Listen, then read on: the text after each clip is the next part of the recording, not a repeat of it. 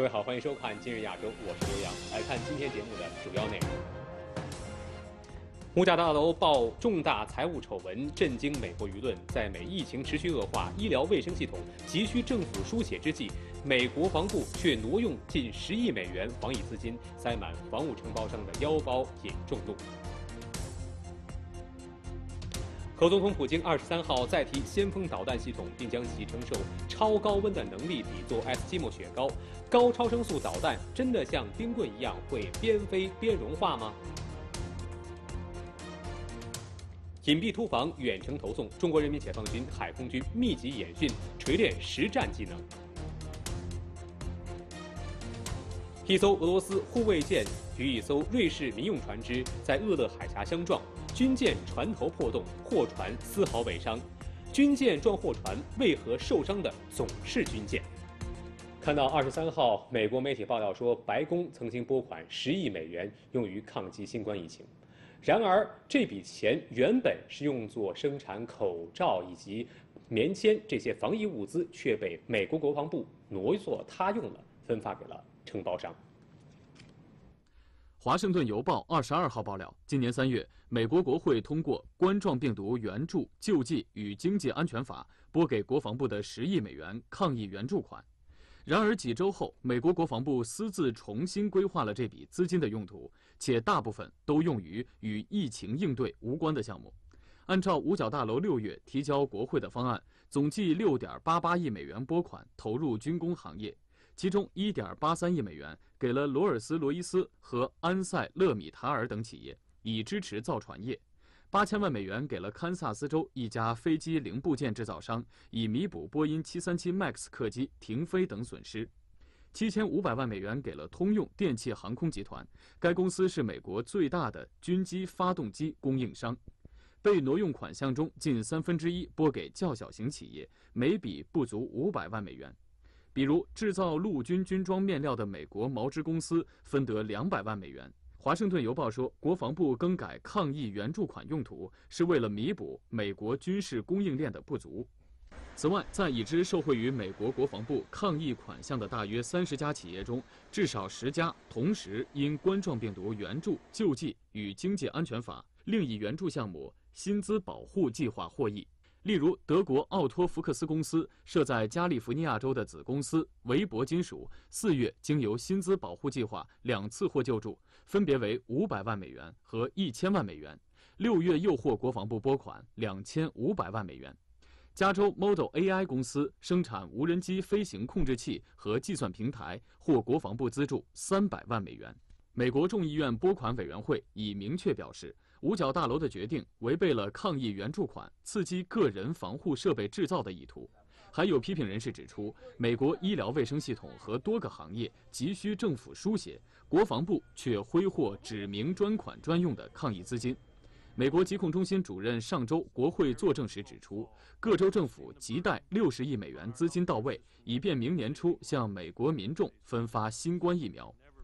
Flu vaccine is safe. and CDC encourages Americans to embrace flu vaccine with confidence for themselves, their families, and their communities. 罗伯特·雷德菲尔德还表示，口罩依然是最有效的防护手段。不过，目前不少美国医院 N95 口罩仍然紧缺，而这些都是可以利用抗疫资金去解决的问题。美国2019财年的房屋预算已然高达6860亿美元。五角大楼却仍向国会索要一百一十亿美元的新一轮抗疫援助。按照《华盛顿邮报》的说法，军工行业似乎受新冠疫情影响不大。洛克希德·马丁、通用动力和诺斯罗普、格鲁曼等大型防务承包商，疫情期间的财务状况依然良好，仍有能力持续给股东分红。与此相对应的是，美国持续恶化的疫情。截至北京时间九月二十四号十四点，美国累计新冠肺炎确诊病例超过六百九十三万四千人，死亡病例逼近二十万两千人。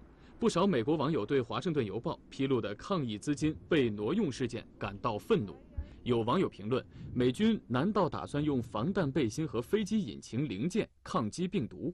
我觉得这次是国防部呢，他认为他自己有这样的裁量权，他们认为疫情可能会对承包商的资金链。呃，会断裂，所以说他们拿这个钱去补给军火商了。当然这是一个表面现象，但实际上我们知道五角大楼跟这个军火商之间是有旋转门的。特朗普上任以来，一共有三位国防部长，其中有一位是代理，他们都是军火商出身，所以他们之间都是有非常密切联系的。那承包商打个招呼说我们很困难，他们就把这笔钱就拨给那些承包商了。那么当然是打着国家安全的名义，但是呢，实际上很多反对的这个人士已经说了，说 F 三十五也不能去打败这个新冠肺炎病毒。现在是更着急的国家安全是什么？是主要是病毒。从这个角度上来说呢，美国国防部呢做这件事情，跟国防部。政府官员和承包商之间的利益输送是有非常密切联系的。随着秋季来临，美国已有二十二周的疫情出现明显抬头趋势。华盛顿邮报分析最新的发病曲线，认为过去一周，美国平均每天报告四万一千八百一十二例新增病例，比两周前增加百分之七。目前疫情热点地区转向威斯康星州、蒙大拿州和北达科他州等中部地区。新冠病毒正在农村社区和大学城广泛传播，而随着复学季和流感季来临，美国疫情防控形势更加严峻。另一方面，自二月初第一例死亡病例以来，平均每天有八百七十三名美国人死于该病毒，全球最多。面对糟糕的抗疫成绩单，美方还在甩锅中国。在第七十五届联大一般性辩论上，美国领导人罔顾基本事实，对中国攻击抹黑。美国反复就疫情问题对中国进行无端指责，目的是企图把本国应对疫情不利的责任甩锅他人，这完全是徒劳的。中国、美国应对疫情的不同表现，全世界都看得很清楚。皮尤研究中心九月中旬在美国最重要的十三个盟国进行的一项调查显示，英国、加拿大、法国、日本和澳大利亚民众对美国的好感度已经降至该中心开始这项调查二十年来的最低水平。美国学者菲欧娜·希尔对此看得更清楚。他二十二号接受采访时指出，美国如今的堕落和撕裂完全是美国自己的问题。希尔二零一七年曾加入特朗普政府，并在白宫国家安全委员会负责俄罗斯和欧洲事务。You know, we're the ones who are creating all this. It's not, you know, the Russians or the Chinese or anyone else. I mean, we are doing this to ourselves. And the bungled handling of COVID on top of race relations and on top of our political polarization and the spectacles that we are presenting to the outside world is what's um, uh, really uh, pushing all of this. 希尔还表示，美国现在已经不是榜样，全世界越来越把美国当作同情的对象。Is the U.S. still seen as the model that it once was for foreign populations and foreign leaders? You know, watching and listening to this, we are increasingly seen as an object of pity, including by our allies, because they're so shocked by what's happening internally, how we're eating ourselves alive with our divisions. 那今年呢是俄罗斯核工业成立七十五周年。二十三号，俄罗斯总统普京在克里姆林宫会见了俄罗斯核工业领域的优秀人才和代表。那么期间，他再次提到了先锋高超声速导弹，同时还为导弹的新材料点赞。九月二十八号是俄罗斯核工业工作者日。二十三号，俄总统普京在克里姆林宫接见了核工业的最优秀代表。俄罗斯联邦核中心领导者格奥尔吉·雷科瓦诺夫获得了劳动英雄称号。俄媒称，俄罗斯核工业工作者正在研究的关键领域也包括新材料。在当天的会议上，普京点赞了先锋高超声速导弹的制作材料。他将先锋导弹系统承受超高温的能力比作爱斯基摩雪糕，也就是先锋导弹在飞行中能承受两千摄氏度的高温。я уже много раз, раз об этом говорил, эффект эскимо летит и плавится. Потому что температура там слышим где-то по 2000 градусов, чуть меньше, чем на Солнце. Но держит нужное время этот материал. 普京说的这个冰棍效应一样，就一边飞一边融化的话， 有可能是一种新型的复合材料，相当于弹头外壳，外壳上有一定的厚度。当这个遇到高温的时候，它可能会外层会有一些融化，但是壳体整个的壳体的形状还会保持一个呃正常的气动外形。这也是俄总统普京九月以来第二次在公开场合称赞先锋导弹系统。十九号，普京签署法令，授予俄罗斯先锋高超声速导弹总设计师格伯特·叶夫列莫夫圣安德烈勋章。圣安德烈勋章是俄罗斯联邦最高等级的勋章，通常被授予对国家繁荣、昌盛和荣誉做出过非凡功绩的人物。先锋是一种新型战略武器，可携带能以二十七倍声速移动，实现垂直和水平机动的高超声速弹头。俄军事专家称，先锋领先时代十五至二十年，它可以在数分钟内到达地球任何地方，任何导弹防御系统都无法拦截，这为俄罗斯提供了巨大的战略优势。十九号当天，普京在与叶夫列莫夫举行视频会议时说：“先锋高超声速导弹意义重大，堪比苏联时期第一枚核弹的成功研制。先锋导弹系统已经于二零一八年十二月完成最终试射。”二零一九年十二月，装备先锋的第一个团进入了战斗执勤。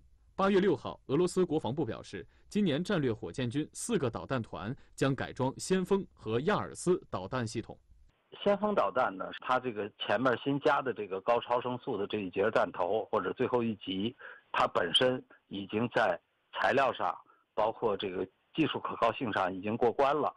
那么这样的话，它部署这个俄罗斯的战略导弹部队呢，等于说。增多增加了一种打击方式，这种方式呢，就是带核弹头的高超声速打击。呃，应该来说，美国的导弹防御系统基本就很难拦住。这样的话，就使得俄罗斯在与美国进行新新削减战略核武器条约的续约问题上，手里多了一张牌。在核工业领域，破冰船的建造水平也是一大指标。近年来，俄罗斯破冰船进入快速发展阶段。俄媒称，正是核能领域的领先，确保了俄罗斯在北极的领导地位。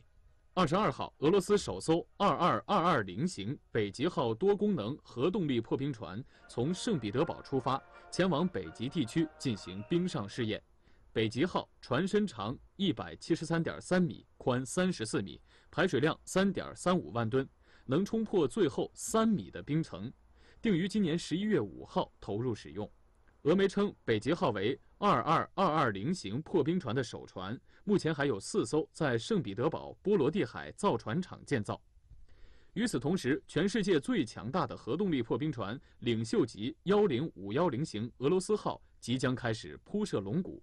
该型破冰船功率为一百二十兆瓦，长二百零九米，宽四十七点七米，这一指标大大超过了世界其他破冰船。俄罗斯号的排水量达到了六点九七万吨，甚至超过了俄罗斯现役的库兹涅佐夫号航母。在二十三号与核工业工作者的会议上，普京对领袖级破冰船的破冰能力产生了浓厚兴趣。Показатели лидера, они просто предвосхищают. Я даже не верю, что это. Ну, я знаю, ледоколы действующие, работал на всех, знаю возможности, ледопроходимости. То, что планируется в лидере, пока для меня это вот фантастика. 俄罗斯卫星网称，俄罗斯号的建造成本约为一千二百七十亿卢布，约合十六亿美元，计划于二零二七年投入使用。俄罗斯总共计划建造三艘领袖级核动力破冰船。从战时应变、补给协同到隐蔽突防、远程投送，中国人民解放军海空军密集演训，锤炼实战技能。 上级通报，南方飞机可能对我编队进行袭击，上级令我编队做好防空反导准备。近日，南部战区海军某舰艇训练中心多艘驱逐舰、护卫舰组成编队，组织了一场紧贴实战背景下连续七十二小时的舰艇指挥员全训合格考核。接到敌情通报，海口舰、昆明舰和惠州舰迅速前出，占领主炮射击阵位。将目标锁定。天左，天左。一组射击后，射击指挥员迅速根据观测部位上报弹头偏差，及时下达修正指令，对目标实施连续打击。命中。在指导组临机下达命令，处置不明空中目标来袭之后，又发现，在某海区有不法商船活动，命令各舰艇迅速前出临检拿捕。此次全训考核设置导条情节近百项，组织潜艇、直升机、关通部队等多种兵力加入战斗，检验舰艇指挥员的应变能力。我们全面考察舰指挥员的作战筹划、战术运用、应急处置等综合指挥技能，以考核牵引训练，让考核倒逼能力形成，促使实战化训练不断深化。实战中，打仗就是打后勤，后勤补给是作战中十分重要的一环。在南海，某勤务船大队组织舰艇编队赴某海域展开多科目、大强度、全要素的海上训练，训练持续五昼夜，先后完成了编队综合防御、编队救援受损舰艇、编队海上联合搜救、夜间支援他船损害管制等多个科目，检验了同时调放多艘小艇、快速运送人员物资。综合补给舰应急多项补给等训练成果。此次训练科目是两横一纵补给，对指挥操纵要求极高。一个环节出了问题，就会影响舰艇安全。官兵们紧张有序、密切协同，发射引缆、带缆，架设距离锁，架起海上生命线。事实上，除了战时应变、补给协同之外，隐蔽突防、远程投送也是军队必备的作战能力之一。午夜时分，华中某军用机场西部战区空军航空兵某团展开空中联合演练，机务官兵对飞机各部件及线路进行检查，机组成员对投放装置再次确认后，满载空降兵的运九机群陆续起飞，在空中集结编队，飞赴数千里外预定区域。后半夜多机编队飞行，不易观察相邻飞机和天气变化。人员精力也不容易集中，危险系数极大。陈金兰是空军运九飞机的首位女机长，她与战友密切协同，历经近四个小时的飞行，米秒不差进入指定空域。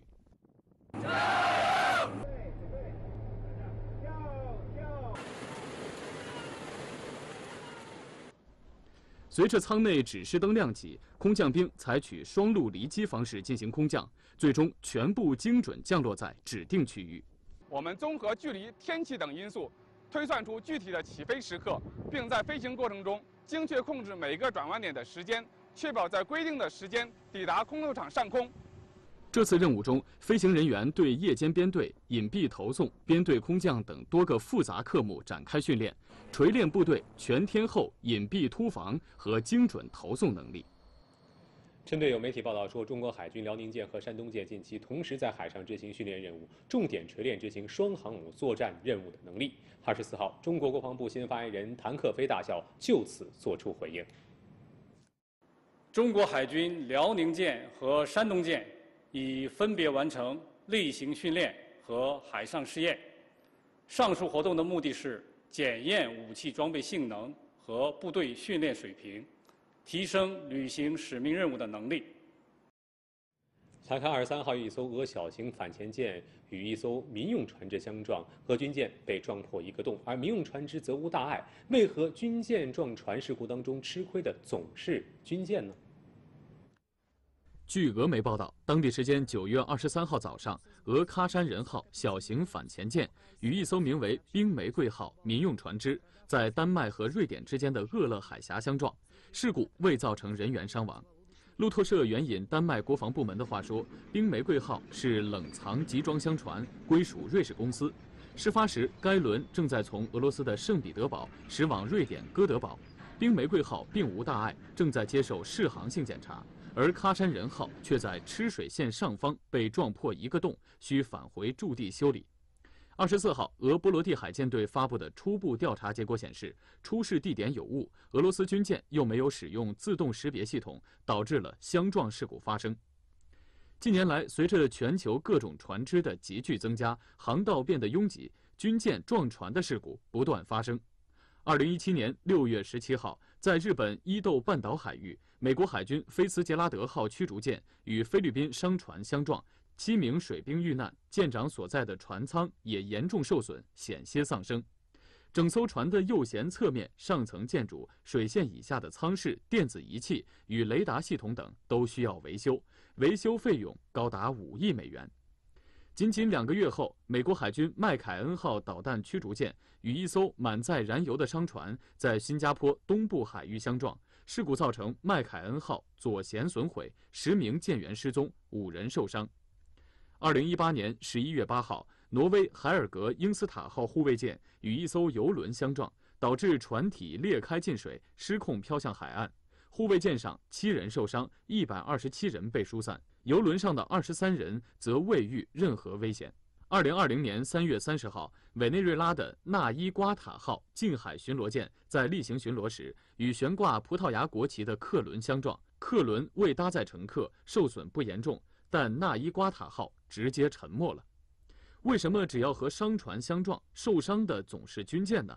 分析人士认为，现代舰艇从作战性能出发，除了指挥中心、弹药舱、油库等关键部位做了复合装甲保护外，舰体其余部位基本都放弃了装甲，用舍弃装甲换取强悍的作战性能。反观货船，它们往往是大块头，其钢板厚度就超过了军舰。再看吨位，美军的麦凯恩号和菲茨杰拉德号都是伯克级驱逐舰，排水量在八千吨左右。而两艘商船的排水量都达到三万吨左右。此次撞船的喀山人号反潜舰满载排水量九百三十五吨，冰玫瑰号集装箱船则有一万两千多吨。它们相撞，无异于大人揍小孩。据伊朗塔斯尼姆通讯社报道说，当地时间二十三号，伊朗伊斯兰革命卫队海军在南部港口城市阿巴斯港接受了一百八十八架无人机和直升机装备，包括能够在作战行动中对固定和移动目标进行锁定的新型无人机、两栖直升机和可携带导弹的武装直升机等。近来，美伊在波斯湾的对峙升级，伊朗已多次警告美国不要贸然挑衅，如果美国有任何侵略行动的发生。必将遭到伊朗方面的严厉反击。好，更多内容再来看一组速览。近日，在澳大利亚圣诞岛，埃米·卢蒂克一家人在享受露天烧烤时，突然被五十多只巨型椰子蟹包围。螃蟹们似乎闻到烧烤香味，从四面八方蜂拥而至，急切地寻找机会享用人类美食。有些心急的螃蟹甚至爬上饭桌和烧烤架。网友见状调侃道：“天降美食，食材自己送上了门。”不过，这种椰子蟹虽然味道鲜美，在澳大利亚却属于保护动物，禁止食用。泰国帕瑶两名少年日前在骑摩托高速行驶的过程中，不慎迎面撞上卡车，巨大的冲击力瞬间顶翻摩托，前座少年脸部撞向卡车，连人带车摔向路边，被紧急送医。后座少年则反应机敏，被惯性甩飞时，用手抓住卡车后保险杠，顺势转体一百八十度后翻滚进车厢，随后毫发无伤地站了起来。日本日前推出一款世界上最小的三阶六面立体魔方，据 ANN 报道，小魔方由铝金属打造，边长仅九点九毫米，大小和一日元的硬币相当。麻雀虽小，五脏俱全，只要够耐心，仍能操控。不过售价不菲，每个高达十九点八万日元，约合人民币一点二八万元。魔方又叫卢比克方块，一九七四年由匈牙利卢比克埃尔诺教授发明，多年来不断进化，衍生出各种形状。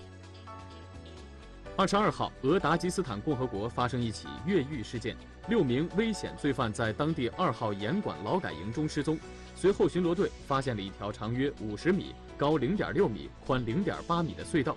坑道内照明、通风设备齐全，入口在劳改营中的生产车间，出口距外围墙十多米，很难想象这是由几名罪犯用勺子和叉子花一年时间挖掘的。目前罪犯仍在潜逃，当地已调集警力全面追捕。受梅雨和台风影响，韩国秋夕节菜价暴涨。韩农水产食品流通公社提供的数据显示，一颗白菜售价超过一点一万韩元，约合人民币六十四元，同比去年翻了一倍。萝卜、角瓜、洋葱、香葱等常用配菜的价格同样涨幅明显，水果、牛肉也不例外。专家认为，秋夕临近，蔬菜需求量大，涨价可能性也越大，建议民众避开节前一至二天消费。近日，在挪威斯瓦尔巴特群岛附近，探险家麦克和弗雷德经历了一次生死大冒险。当时，他们乘坐探险船靠近冰山，随后穿戴好装备开始攀登。